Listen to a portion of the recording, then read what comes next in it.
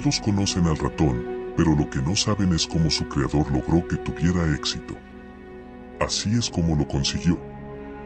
En la década de 1920, un productor poco reconocido trataba de salir adelante, pero no lograba el éxito que deseaba. Este, con mucho esfuerzo, logró hacer una animación. Esta trataba de un amigable conejo, pero el éxito le duró poco. Desesperado, buscó los recursos, pero nadie mostró interés. Él luchó por lograrlo, pero vio lo cruda que es la vida. Al no tener alternativa, recurrió a las artes oscuras. Este habría invocado a un poderoso demonio. Estando ante la presencia de esta poderosa entidad, tendría temor al verla. Era esbelta, muy alta y con un aspecto que aparentaba ser un ratón muy distorsionado. Pero aún así, él le pediría que todos sus trabajos fueran exitosos sin importar qué. Este ser, al escuchar su petición, le diría que haría realidad su anhelo, pero lo haría con una condición. Este le diría que el primer logro que tendría llevaría su nombre. El hombre sintió con la cabeza y lo obedeció. La entidad le diría que dentro de 100 años, todo lo que haya logrado será consumido por una gran oscuridad. Él no tendría nada que hacer. Él y su descendencia serían atormentados por él y finalmente consumidos por él por la eternidad. El hombre, después de escuchar eso, empezó a dudar si era correcto, pero su necesidad lo orilló a cerrar el trato. La entidad, con una sonrisa, desapareció. El hombre quedó en shock, era demasiado para él. Al poco tiempo, el productor creó a un personaje. Este recordó los acuerdos del trato y recordó lo que la criatura le había dicho. Este había creado a su personaje con la apariencia de la entidad y, como habían acordado, le dio a su personaje el nombre. Este le puso como nombre Mickey. Este sería un éxito, con su corto animado Steamboat Willie. Como la entidad lo había prometido, el hombre logró éxito en cada uno de sus proyectos. El productor ganó fama y renombre, creó un imperio. Pasó su vida con temor de lo que iba a suceder, pero aún así no habló al respecto, guardó silencio hasta el día de su muerte. Sus hijos continuaron su legado sin saber lo que se aproximaba. Las décadas pasaron y el hijo del productor asumió el cargo de su padre. Este tenía a su dominio el legado de su padre. Después de asumir el cargo, empezaría a tener pesadillas sobre aquella entidad. Este demonio se presentaba en sus sueños como la versión animada del ratón, pero conforme interactuaba con el joven, éste le habría contado lo que su padre habría hecho, así el joven enterándose de esto. El joven perturbado le diría que su padre era incapaz de hacer eso.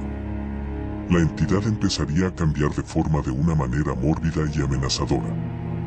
Esta empezaría a romper sus huesos y a tomar una forma esbelta y demacrada, teniendo una apariencia de un ratón antropomórfico. Su cráneo estaba deformado de tal manera en la que sus dientes quedaban expuestos de una manera mórbida.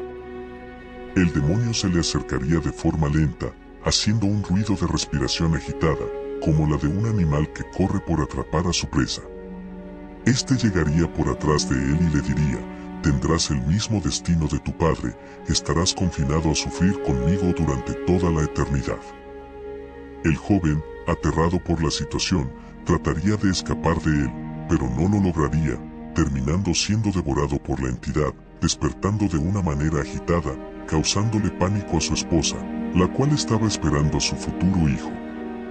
Este, aún estando tembloroso por lo que había pasado, se diría a sí mismo que todo habría sido un sueño, o eso creía.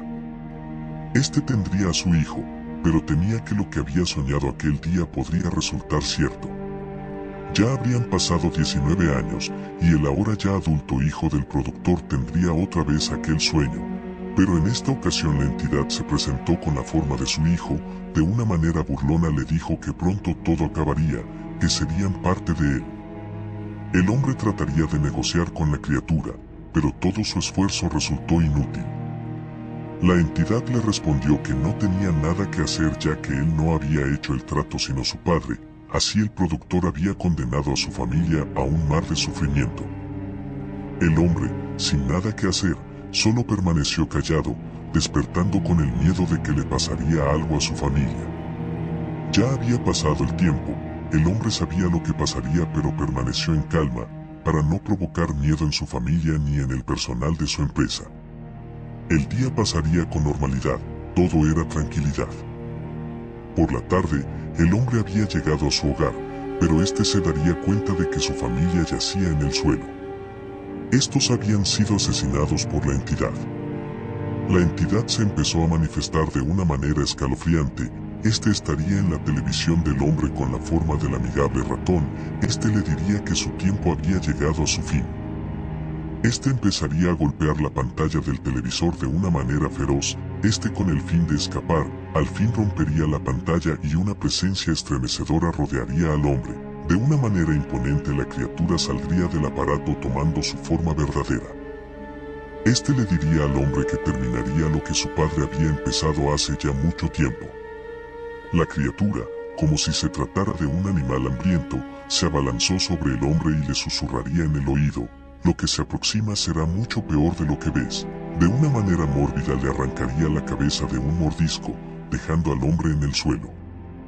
El demonio se alzaría, y con su inmenso poder, empezaría a cubrir al mundo con oscuridad para así consumir todo lo que había creado aquel ingenuo productor.